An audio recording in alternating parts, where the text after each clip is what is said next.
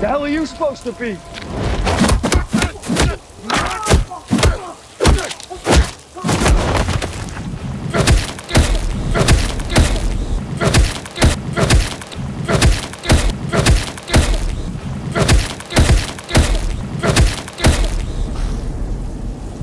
I'm vengeance.